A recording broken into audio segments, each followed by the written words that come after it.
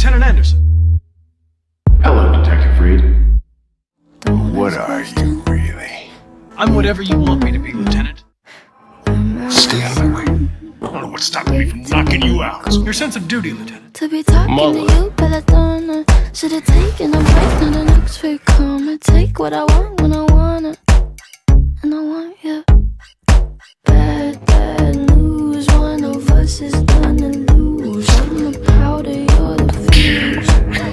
just add some friction. You are my strange addiction. You are my strange addiction. My doctors can't explain my symptoms or my pain, but you are my strange addiction.